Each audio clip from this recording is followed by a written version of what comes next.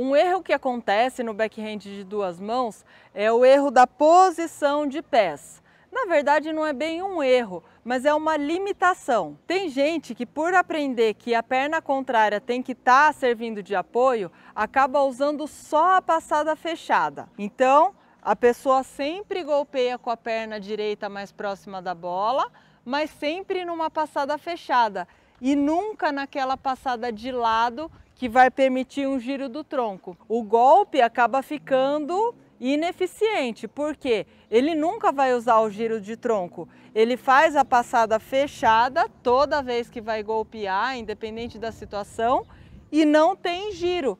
E aí ele fica dependendo completamente do movimento dos braços e de punho para ele golpear. Se você chegar de lado, você vai ter condições de girar o tronco e usar muito mais alavancas para ter um bom golpe.